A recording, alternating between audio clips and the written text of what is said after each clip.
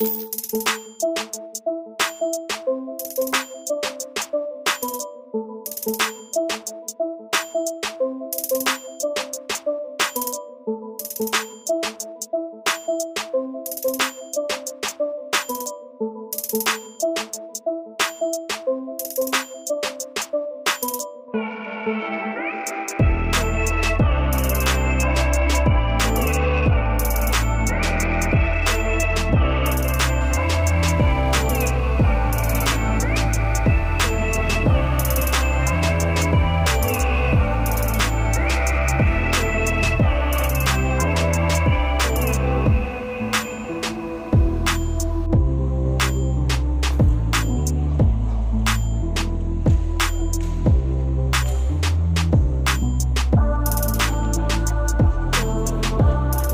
nggak apa-apa lah itu kan apa juk-juk semacam itu untuk bagian dari inilah proses pendewasaan kita semua lah gitu apa.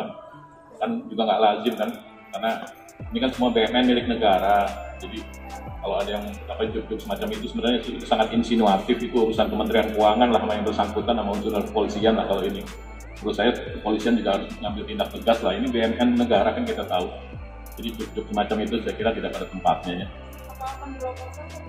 Enggak, kami enggak ini itu kan bendahara umum negara kan Kementerian Keuangan eh, ini semua tercatat oleh Kementerian Keuangan jadi kalau ada yang melakukan informasi semacam itu ya Kementerian Keuangan dan kepolisian yang silakan menindaklanjuti